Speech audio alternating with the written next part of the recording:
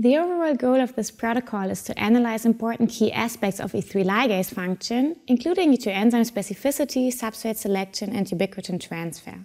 The main advantage of this technique is its wide applicability, as proteins from all eukaryotic sources can be recombinantly expressed and studied in vitro without the need for special equipment.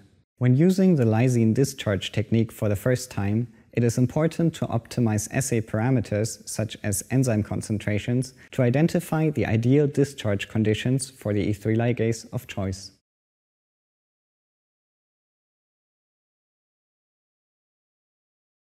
To perform an in vitro autoubiquitination assay, set up a pipetting scheme to test the functional ability of different E2 enzymes and prepare a master mix on ice for all of the ubiquitination reactions plus one additional reaction.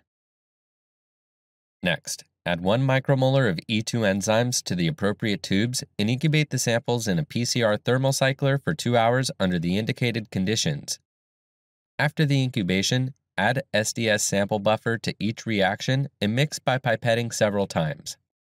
Then immediately boil the samples at 95 degrees Celsius for 5 minutes and store the denatured proteins at minus 20 degrees Celsius.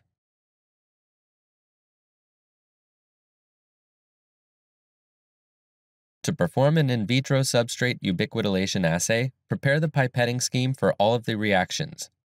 After calculating the amount of master mix required for one reaction, prepare the master mix for all of the reactions on ice and add the master mix to each tube.